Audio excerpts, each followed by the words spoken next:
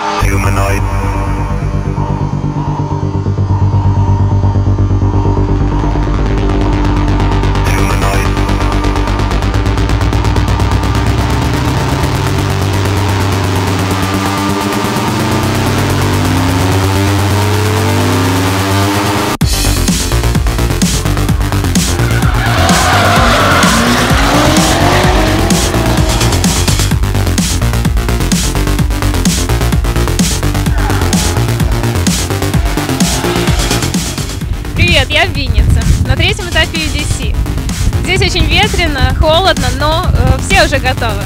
Зрители, судьи и я.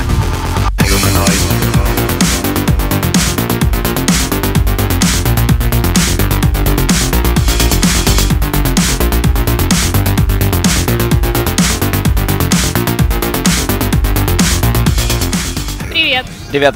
Расскажи о своей должности на чемпионате. Э, Моя должность э, называется директор гонки. Простыми словами, это главный маршал данного мероприятия. Главными обязанностями моими являются контроль безопасности автомобилей, которые находятся на треке, автомобилей участников. Контроль э, маршалов мероприятия, то есть это постоянная слежка за каждым из постов, на то, как ребята реагируют на какие-то критические ситуации. Какие первые действия в критических ситуациях? Э, Самое первое действие в критической ситуации – это здраво оценить, что произошло с автомобилем, оценить э, состояние автомобиля, то есть если это легкое повреждение, то мы просто смотрим на какие-то, опять же, таки отпавшие детали э, автомобиля, демонтируем их с автомобиля, чтобы они не были э, ну, там, разбросаны по треку. Вторая часть, если это уже более критическое повреждение автомобиля, мы в первую очередь достаем оттуда пилота, размыкатель массы, и дальше мы уже реагируем или используем огнетушитель, или же ну, увозим машину на, если это не пожар, я про огонь говорю, то мы просто э, увозим машину с э, трека, и дальше уже механики в закрытом парке разбираются с этой проблемой. Если это пожар, то используются огнетушители в первую очередь, или же система пожаротушения автомобиля. Здрасте. Добрый день. Как вы тут оказались? Приехали с Киева поддержать нашего гонщика Лимана Дениса. И малышка тоже? Ну да, наша Она уже- юная, юная дрифтинга, это уже второй у нее раунд. Первый раз она на чайке была, это уже вот учим, приучаем, да. А как она разбирается в правилах уже? Ну, конечно, конечно, да. Я думаю, что можно ее даже в судейку уже садить. Да. Да, вам удачи там уже. А она, может, в будущем вы не хотели бы, чтобы она принимала участие? Надо папе подумать, сможет ли он сфинансировать или нет.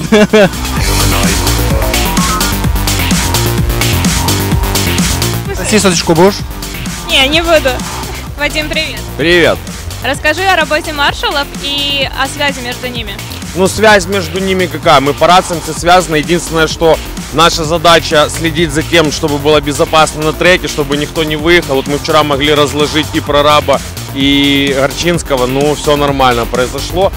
Так, э, у нас просто уже команда сбита за много лет, и мы уже, так сказать, друг друга понимаем быстро. Когда мы работаем с людьми, которые с нами не работали, это намного тяжелее. Ну, в принципе, нашей команды головой хватает.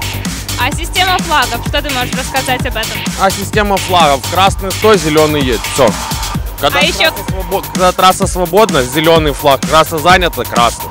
Какие еще знаки вы используете? Абсолютно больше никаких. Только флаги и рации у нас. Спасибо. Ну, еще бывает нецензурная лексика.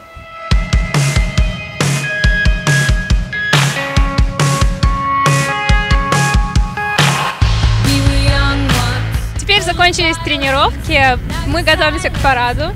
После этого начнутся парные заезды и, конечно, после этого финал.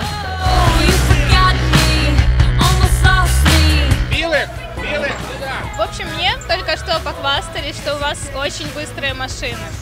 Расскажите немножко о них. Кто нас сдал? Нам потом... Да, есть такое дело, у меня Nissan, у него Subaru. Э, Вы принимаете участие в драге? Да, Расскажи о- об этом соревновании немножко. Прямо две машины очень быстрые едут, 402 метра. Все просто, Как весело. очень весело. А почему на дрифт пришли? Знакомые. Дрифт не люблю. Много знакомых, друзей. Ага, так вы не фанаты совсем. Вообще, Расскажи о своей машине и почему решил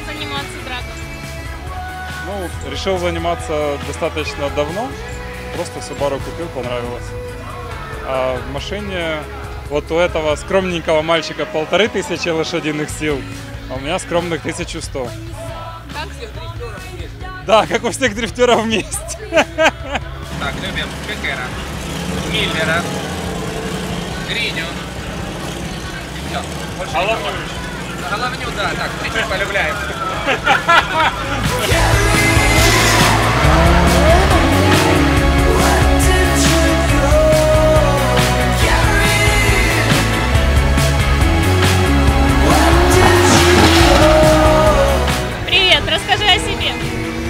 Привет, я классный. Расскажи, какая главная причина, почему ты здесь? Дрифт. Но ты издалека приехал, правильно? Да, из Минска. И что заставило? Дрифт. Расскажи, вот такой большой перерыв. Каково вспоминать азы дрифта? Да по-своему прикольно. Катаюсь то есть для удовольствия. Каждый день что-то новое познаешь. Каждый раз после каждых соревнований, после каждых парных заездов.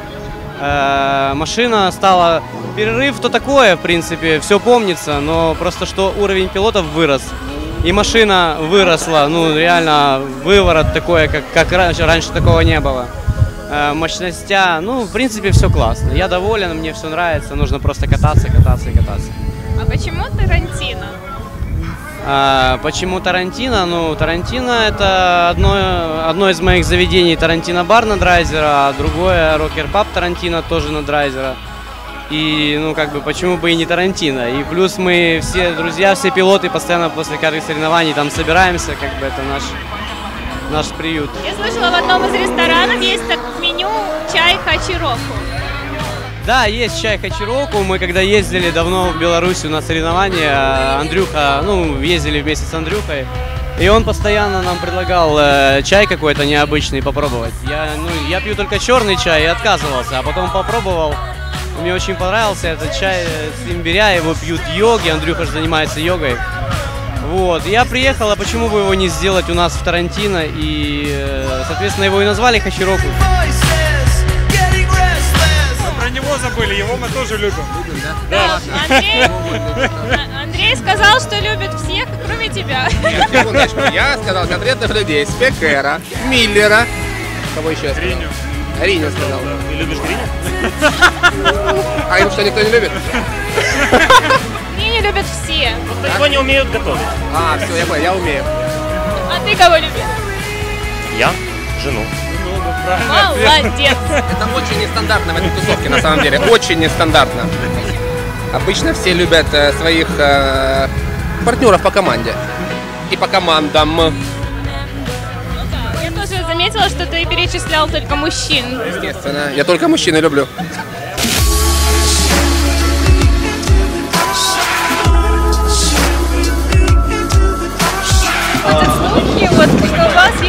Собачка.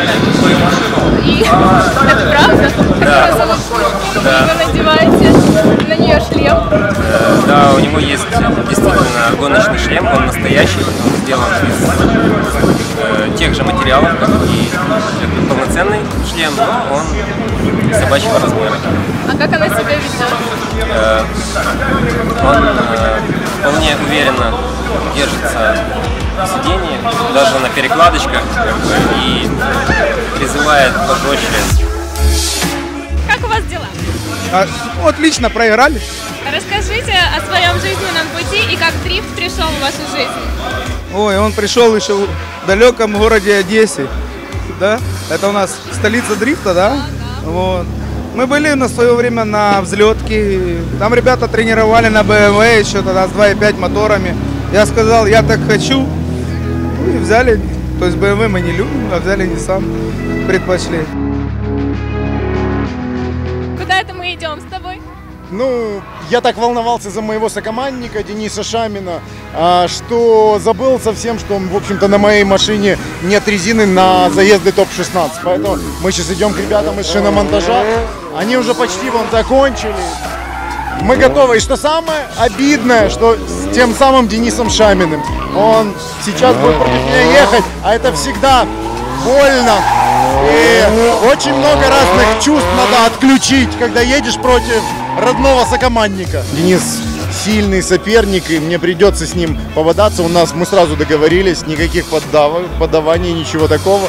Потому что каждый, да, каждый едет сам за себя, то есть сели в машину, выключили. Я выйду, я тебя темну потом.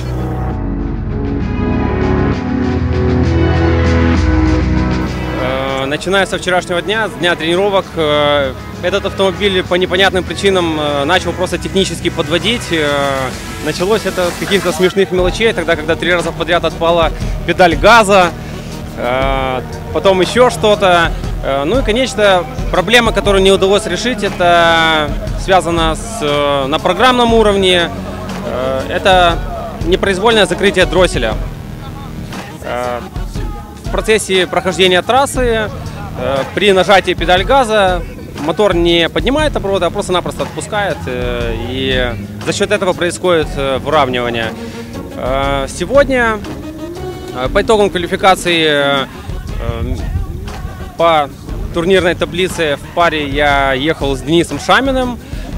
Вроде было ничего, хотя в первом заезде автомобиль все равно подвел. Ну, мне пришлось избежать выравнивания. Но второй заезд также, да, также был непредсказуем. И э, в итоге легенький крах.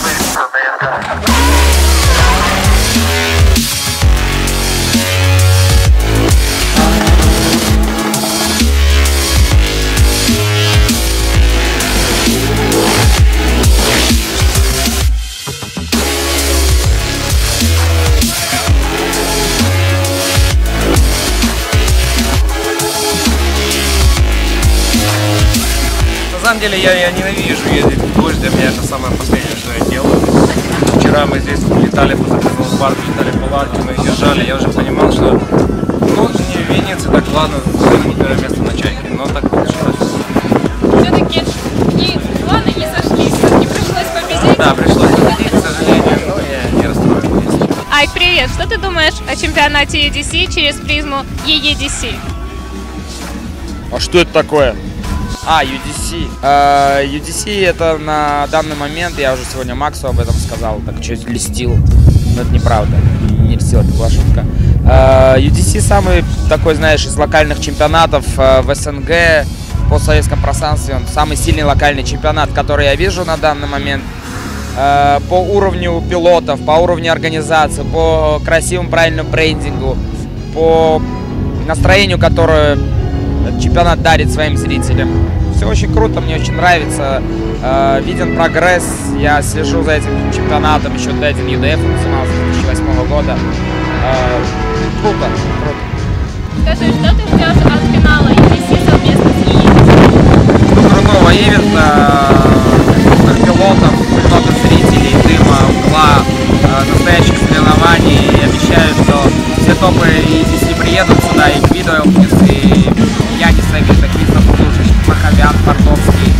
Также, конечно, и спикер Щепой, которые в том числе являются одним из лучших пилотов EDC. Будет очень жарко, будут два соревнования. Я думаю, что укра- украинские зрители, любители дрифта смогут увидеть этого очень-очень раз сравнить а, и оценить то, что мы делаем.